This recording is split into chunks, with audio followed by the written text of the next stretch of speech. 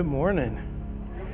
There's such a spirit of joy here this morning. I absolutely love it, and I know it's, it makes our Father's heart very happy to see His children and His creation celebrating and praising Him. How would you complete this sentence for me? Christmas is.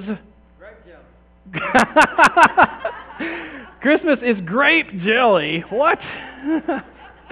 Uh, for those who haven't been around for a while, every year uh, we grow grapes at our at our house. We have a, a couple of grape vines that grow up and grow a lot of grapes. And my wife Shelly makes homemade grape jelly, and there are several cases out there uh, for you to take with you. Everybody, for take take one per home, please, so that everybody gets a chance to get one. And if you already have one, several of you do, please let others partake partake first before you start taking more because that's all we have. It's uh, it's all gone. So yeah, Christmas is grape jelly. what else? How else would you finish that sentence? Christmas is big old fat Santa Claus. Joy. What else? Lights. Giving. Football. Pot roast? What? Oh, love. See where you can see where my mind is. I, someone says love, and I hear pot roast. Yeah. Big O. Okay. Yeah. Charlie Brown. Good. What else? Christmas is family, a baby, a baby born. Good. Anything else? What? A day off. A day off. Anything else? Christmas is celebration. Family, absolutely. Tradition. Tradition. Yeah. Joy to the world, absolutely. Christmas is all these things and probably more. And Christmas is light and peace. And uh, this morning we uh, lit the fourth candle of the Advent. This is the peace candle, the, the messenger candle is also called. And when Jesus becomes a subject of your life, he gives you this opportunity to be his messenger. Every single one of us, if Jesus is the subject of our lives, we are his messenger. So as we light the messenger candle, which is the messenger of peace, we're reminded today that in the Advent, we are messengers of his peace. We are light bearers of the peace that Christ brings. The thing is, you can't be a messenger of something of which you don't have. You can't take a message to someone if you don't own the message, and the message doesn't own you. And so you can't be a messenger of peace unless you have the peace that Jesus can give, that only Jesus can give. And you can't be a messenger of light unless you have the, the light of Christ within you. So, this is our theme uh, today as we kind of wrap up our Advent season, or uh, actually, we'll, we'll, totally wrap up on Christmas Eve night for our come and go communion time. We'd invite you to take note of that. The times are in your weekly and, and come out on Christmas Eve, and it's come and go. So, come and take communion and have prayer with your family here on that night. But today, we're going to wrap it up by looking at this passage of Scripture. So, who's got your Bibles? So, turn to Matthew chapter 5 if you do have your Bible. If you don't have a Bible, I encourage you to take one from the book rack there and turn to page 736 if you use the book rack Bible. And Matthew chapter 5, not traditionally a, what we think of as a, as a Christmas uh, passage, but it certainly ties in with what we've been studying and reading and discussing over the last few weeks. So this takes place a long time ago in a Galilee far, far away. No, really. In this region of Galilee, Jesus went to this, this, this place on this hillside. It really was in the region of Galilee. I'm not making it up. And there, he began to preach and teach. And there's this famous sermon that while there was this evil empire, really was, that was trying to control everything, Jesus began to be a new hope and bring rebellion to this empire. He was uh, definitely better than any Jedi that you could ever imagine. So here is Jesus on this mountainside. The Sermon on the Mount is where this passage comes from. And this is kind of the famous sermon of Jesus, where a lot of our, our understanding of the way of Christ comes from.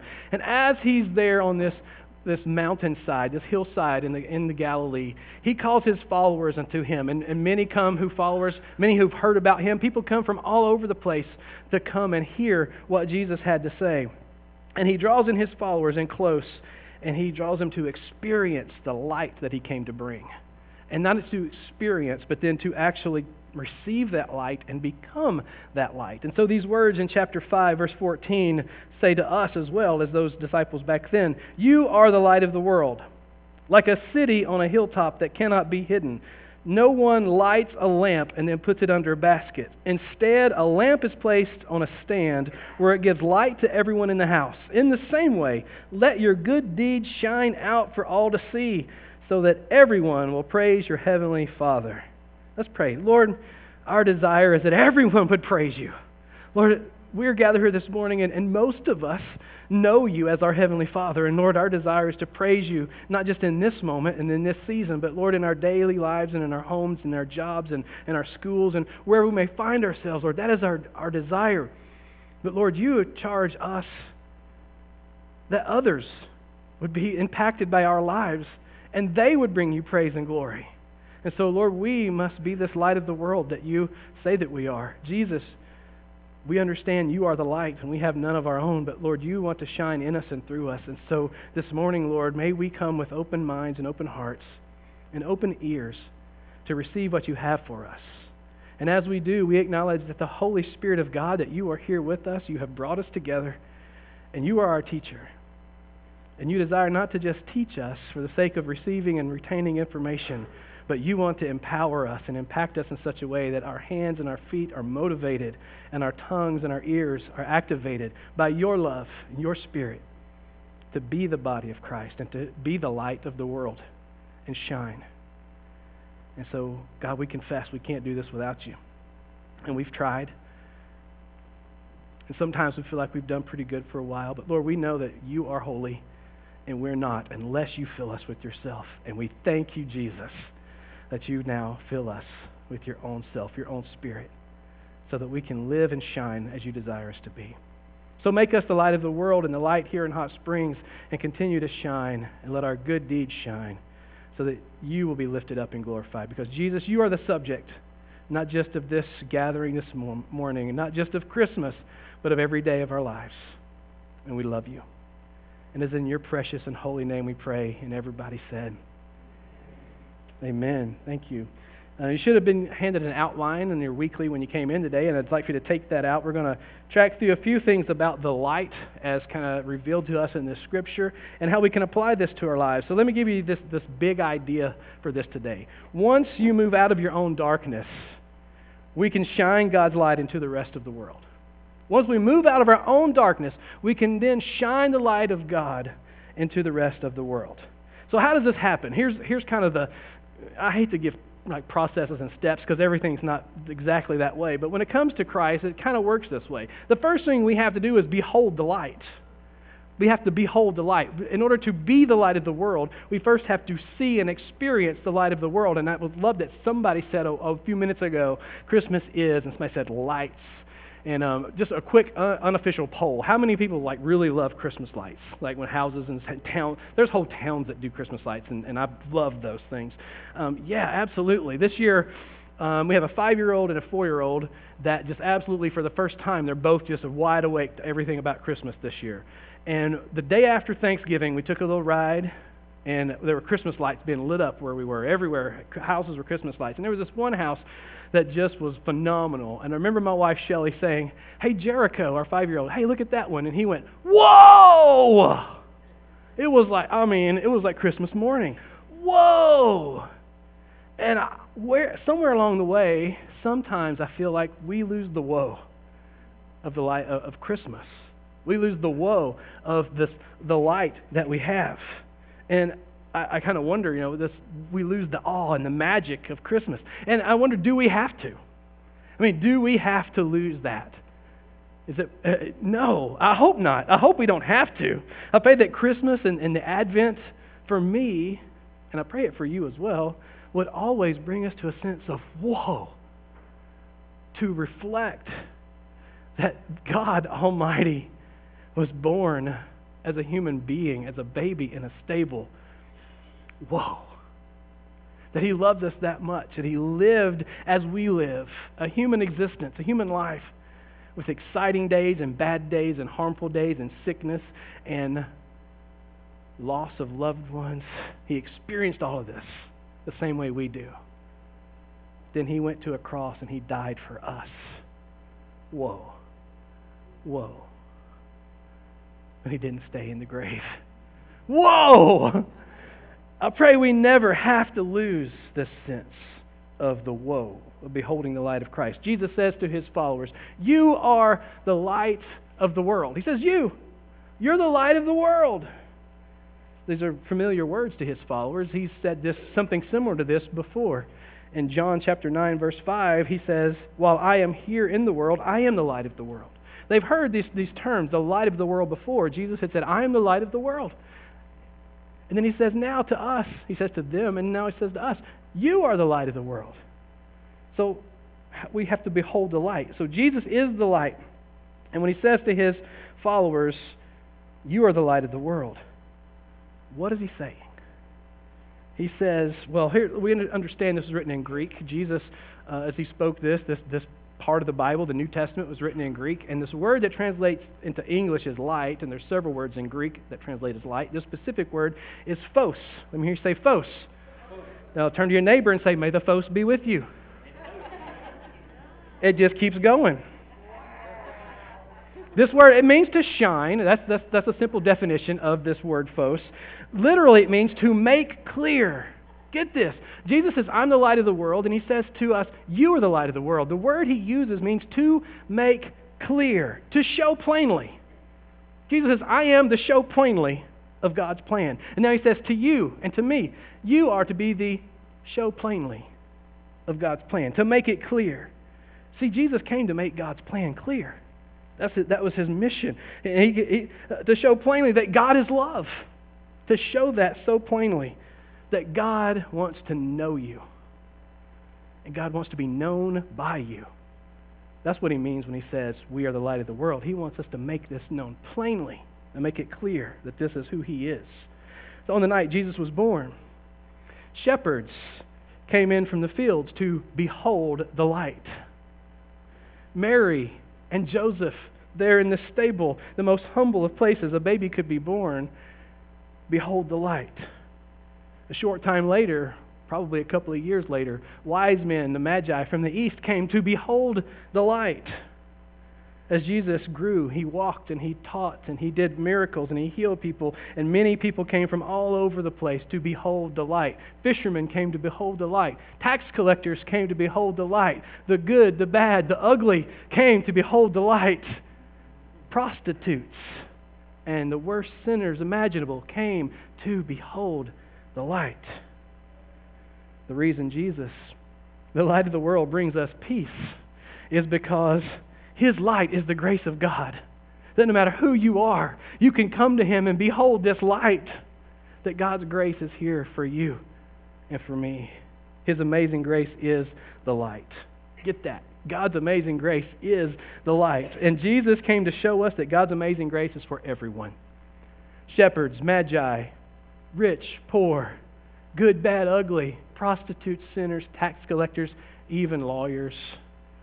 And even politicians, yes. They came, Jesus came to show that God's amazing grace is for everyone. So behold the light. But, but to be the light, you have to do more than behold it. You have to more than experience. And, and this is, challenges me because I'm kind of an experiential person. The experience is kind of how I learn things. But then you have to go further than just experience the light. You have to believe the light. Behold the light and believe the light. There's a movie called Elf that many of you probably seen. And um, it's a few years old now, but there's a, a, part, a, a subplot of the movie is that the Christmas spirit is gone. And Santa Claus's sleigh will no longer fly by the Christmas spirit that enabled the reindeer and think the magic of Christmas quotes.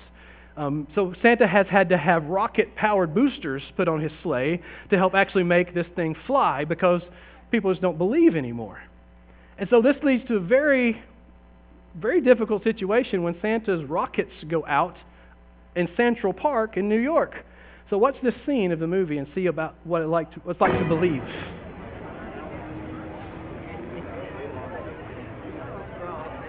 You better watch out. You better not cry. You better not pout. I'm telling you why. Santa Claus is coming to town.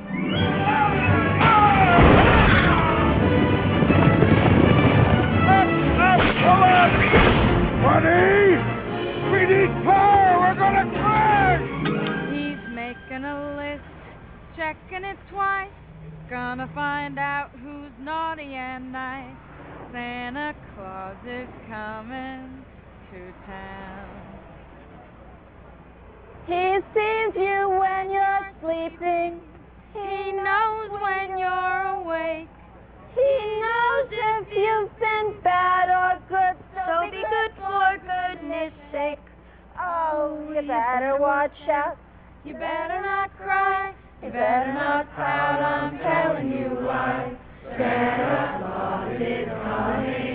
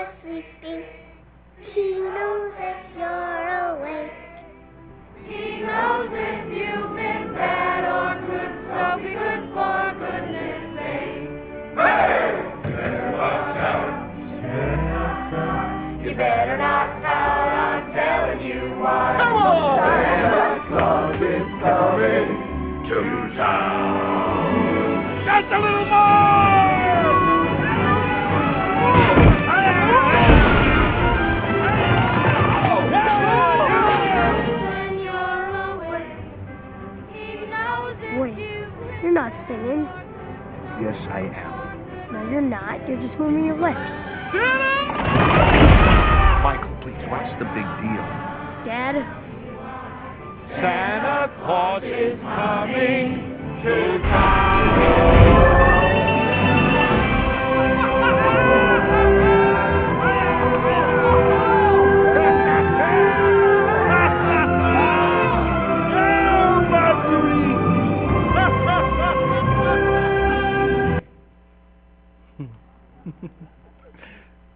can watch the rest of it later.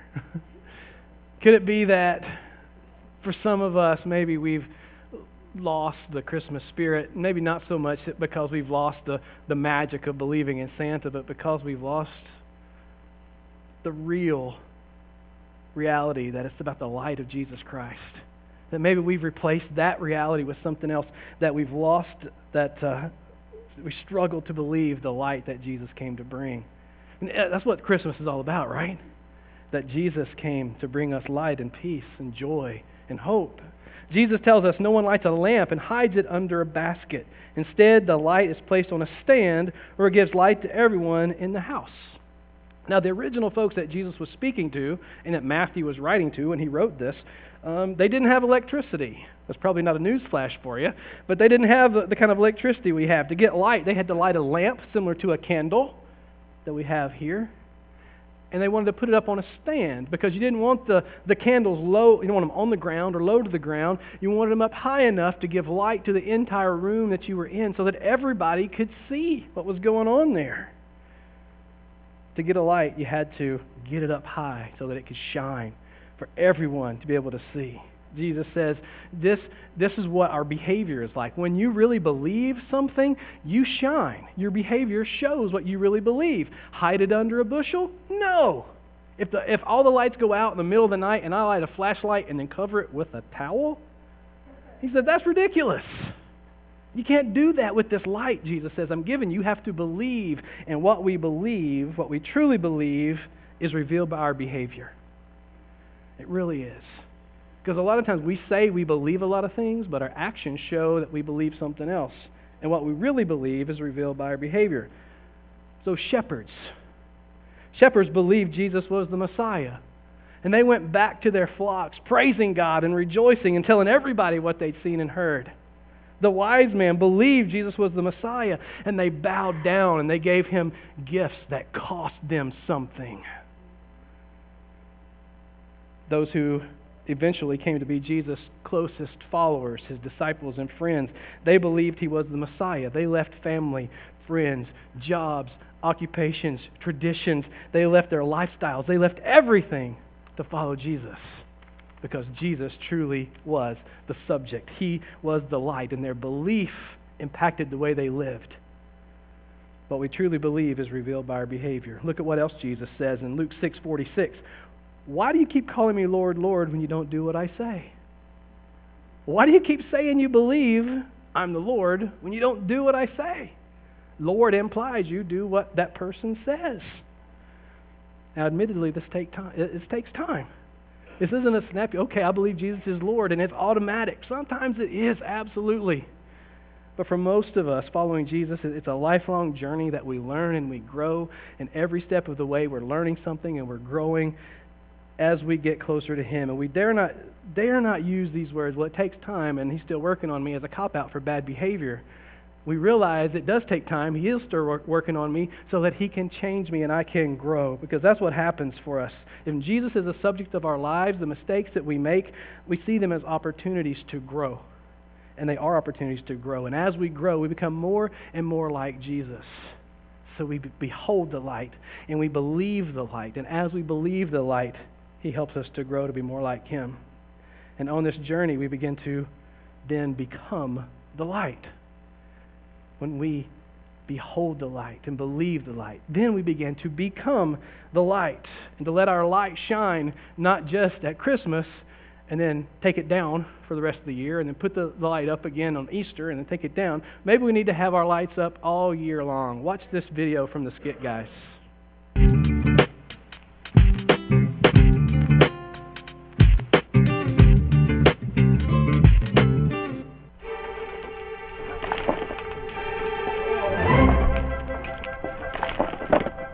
Takes care of the back of the house. You wanna you wanna go around and take the lights off the front? Yeah, that'd be great. Oh, hey, by the way, thank you. If it wasn't for you, I don't know who'd get on that roof. You are awesome.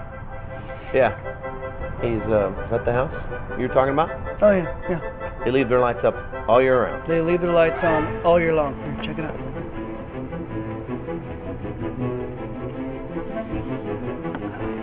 So they leave their lights on all year long? All year long and those bulbs change according to whatever holiday season it is. Get out. Can't wish I could. So, like July 4th? Those bulbs come red, white, and blue. Thanksgiving. Harvest colors. Halloween. Black and orange. Memorial Day. Camouflage. Get out. Can't wish I could. Oh, I, I bet it's embarrassing for the neighbors. Oh, the neighbors. We're totally embarrassed. We complain about it all the time. Oh, and when there is no holiday season going on, those bulbs become little red hot chili pepper lights. What? Yep. Give me one good reason why you should celebrate the pepper. Can't wish I could. Like your neighbors on a Motel 6. And my wife, she's always saying, let's just leave the lights on just a little bit longer. Let's just stay in the spirit of things. But when Christmas is over, you take down the lights, am I right? I don't know. I'm not even the right guy to ask. I don't even put lights on my house. Why don't you put lights on your house? I'm afraid of heights. But the question is, why do you put lights on your house? To celebrate Christmas, the birth of Christ, all that kind of stuff. There you go. That's your answer. What? If you don't want to celebrate Christ all year long, then take the lights down. That's not what I was saying. You're putting words in my mouth. You're siding with my wife. Hey, hey, I'm not siding with anyone. I'm, and I'm sorry. I didn't realize that you and God were, uh, you know. On the outs? Yeah. We're not on the outs. Me and God, we're very tight. We're very, very tight. Really? Yes. Really? Yes. Prove it. Prove what? Are you daring me to leave my lights on all year long? Hey, no dare here. I'm just saying, you gonna let your little light shine? Wait! Man the ladder, my friend. What? Man that ladder. We're gonna get back up there and hang these lights. No, no, no. Oh, I was just kidding. Oh, yes. It is going to be a proclamation of my faith. Didn't you hear? I- am afraid of heights. You're already up there. honey, honey, get the apple cider ready. Put on the Perry Como records. These lights are going to shine. get back here. These lights have to shine.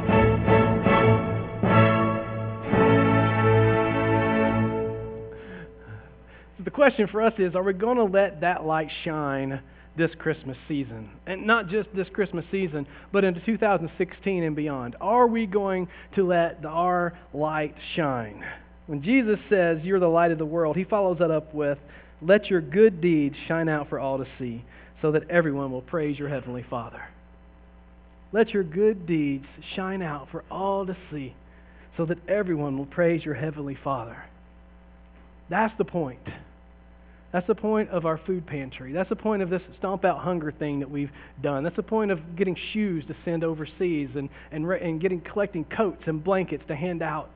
The point is not to look at us and there's a side point of meeting a need, but the real point is is we want people to see and know and praise our heavenly Father. That's why. Helping others, serving others takes the focus off of us and puts it on those that we help and serve. And when we do it in Jesus' name, it takes the focus off of us and puts it where it really belongs, and that's Jesus. So when you help others in Jesus' name, your light is shining. Helping others shows them that uh, shows them who Jesus is. Helping others shows them who Jesus is. We get all tied up in witnessing and evangelism and you know that kind of stuff. And really helping others and serving others in Jesus' name shows them who he is. What if we change some of our questions that we have from, you know, how could God bless me? What if we change that question to, how might God want to use me or work through me to bless others? What if we changed our question from, what's in it for me? to, how can God work through me to benefit someone else? Maybe someone who's never heard and never experienced this light, someone who's never beheld the light. How can God shine through me to shine into their life? Our responsibility doesn't end with beholding the light. That's what Christmas is about. The Advent is about the light to behold, a Christ child, the baby, and everybody loves the little baby. Just ask Thea. Uh, She's a little baby in our congregation. And that's, that's where it begins. But our responsibility goes beyond that. As we believe the light, we absorb the light of Christ. It comes, becomes a part of us so that it shines out from us. When Jesus enters our lives, his light shines through us into the world. And that's what he wants. That's what he desires. The unfortunate thing about the church in, in America is that we're known for a reputation of slander and, and, and, and dark things instead of light, and uh, shadows and, and those kind of things are associated when people talk about church these days. And it's unfortunate because we are to be the light of the world, and we should be shining. We're known for hiding the light under a basket, or like that old song, hide it under a bushel. No! We should be the big no and let it shine. We're called to be light, and we cannot hide that light under a basket. You can't shine you, you cannot shine if you, if you hide it in sin and selfishness.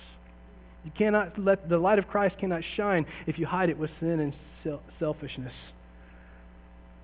So Jesus is the light and he shines.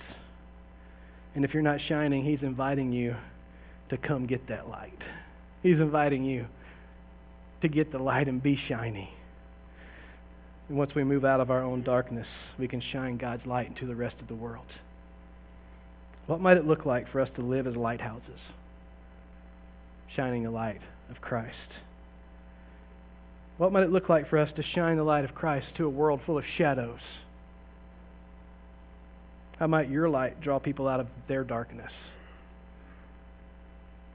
This is our mission to shine so that others are drawn out of their darkness. This is our mission. This is why we become the light of the world. Jesus didn't say you're the light of the world and leave it at that. He told us why. And another place in Scripture reminds us of that. Ephesians 2.10 says, For we are God's masterpiece, created anew in Christ Jesus. That's awesome. So we can do good, the good things that He planned for us long ago. We're the light of the world. So go and be light. Light dispels darkness. In Christ we shine with peace. This is what the Advent is supposed to be the light of peace, entering into one life, going to another, going to another. A few minutes ago, we, we lit up this room with candles. And that's what the peace of Christ is supposed to be. But if we refuse to hold our candle out, we can't receive the light and we can't receive the peace. Don't refuse the light and the peace of Christ. He wants to give it to you so freely. And the darkness cannot overcome this light because this light can never be extinguished. The world longs for this peace. Have you noticed that? Our world is crying out for the peace of Christ. And in so many ways, the world is refusing to hold the candle up to receive it. We've got to keep shining the light and offering it. So the world needs this light. We have to go and be shiny. And I would invite you today, if you need this peace, if you need this light of Christ, come and ask Jesus to shine in you as we adore him. We're going to sing this song after we pray. Would you stand with me, everyone? Lord, we love you. We come and we adore you. You are love and you inspire love within us. And it's not just a, a simply a feeling, but it's a choice. It becomes a part of us. It's who we become. It's we become the love as we become the light. Lord, we want to give it back to you. May, oh, come, let us adore him, be more than a song. May it be the way we live. So we invite you to do that in us, to equip us, enable us, continue to change us, become more like you, so that we can have this light. Lord Jesus, today, light us up, give us peace, because this is what we need. And we thank you for it now. In Jesus' name, amen.